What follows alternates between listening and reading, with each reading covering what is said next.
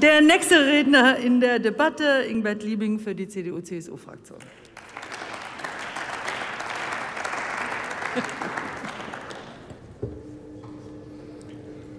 Frau Präsidentin, meine Damen und Herren, liebe Kolleginnen und Kollegen!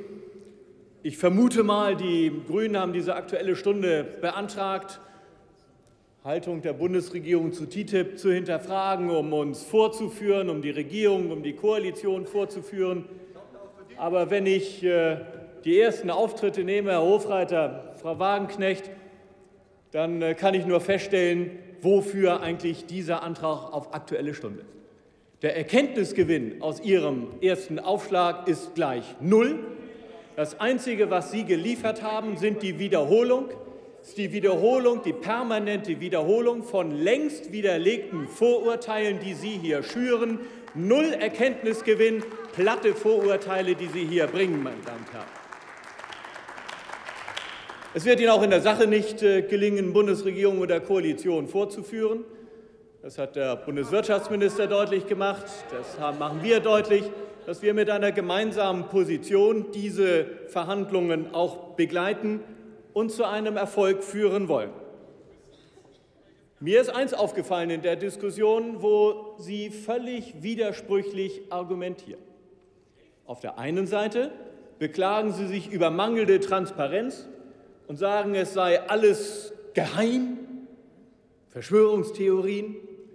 Aber ich frage Sie, warum, wie kommen Sie dazu, wenn alles so geheim wäre, jetzt schon fertige Ergebnisse zu bewerten? Wenn das alles so geheim ist, dann gibt es doch noch gar nichts, was auf dem Markt wäre.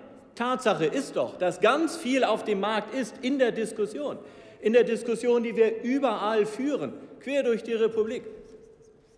Und äh, die Diskussion auch über die einzelnen Sachverhalte mit ihren, Ihnen führen und Ihre Argumente schon längst widerlegt haben. Also Eins von beiden kann nur stimmen. Entweder sind das alles Geheimverhandlungen, dann kann es noch gar nichts an Ergebnissen geben oder Fakten, die öffentlich bewertet werden könnten, oder wir streiten eben öffentlich über bestimmte Themen, was wir ja auch tun, aber dann ist Ihr ganzer Vorwurf der Intransparenz nicht richtig.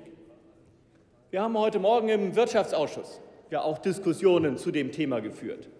Viel sachlicher als die Beiträge von Herrn Hofreiter oder Frau Wagenknecht weil wir uns um die einzelnen Sachverhalte gekümmert haben und vor allem auch darüber diskutiert haben, wo liegen denn eigentlich die Chancen und was ist eigentlich unsere eigene Zielsetzung.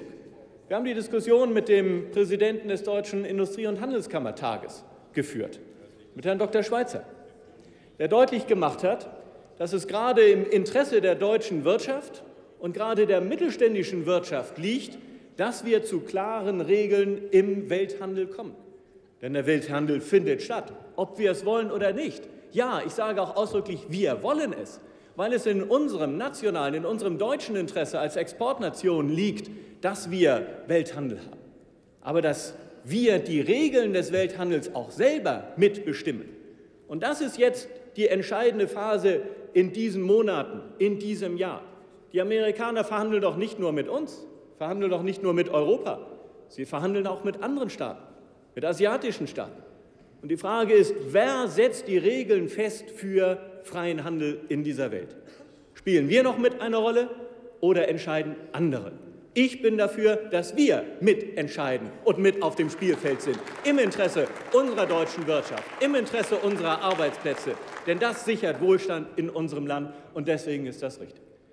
Ich will einen kurzen Aspekt noch aufgreifen aus den vielfältigen äh, Szenarien, die immer in die Welt gesetzt werden, den Horrorszenarien, was jetzt Großes droht, weil ich als kommunalpolitischer Sprecher ja auch alle Resolutionen aus den kommunalen Vertretungen auf den Tisch bekomme. Mit den Besorgnissen würde jetzt die öffentliche Daseinsvorsorge der kommunale Selbstverwaltung äh, ruiniert werden. Auch das liegt inzwischen transparent auf dem Tisch. Sowohl von der EU, da steht im Verhandlungsmandat, es gibt klare Erklärungen der Europäischen Kommission, auch der Verhandlungsergebnisse mit den USA, dass sich hier nichts, aber auch gar nichts verändert. Kommunale Selbstverwaltung wird nicht eingeschränkt.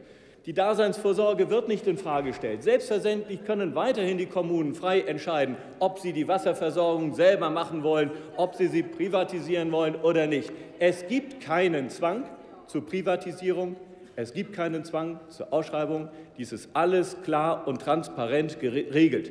Und wer etwas anderes behauptet und weiterhin verbreitet, der tut es wieder besseres Wissens und versündigt sich genau an dem, was Sie doch einfordern, an einer offenen Diskussion mit der, mit der Bevölkerung, weil Sie Verunsicherung bewusst schüren durch unwahre Behauptungen. Das ist keine sachliche Diskussion, das ist verantwortungslos und damit werden Sie dieser wichtigen Aufgabe nicht gerecht. Und das haben Sie heute mit dieser Aktuellen Stunde auch noch mal unter Beweis gestellt. Schade für diese Zeit, die Sie hier dafür verbrauchen.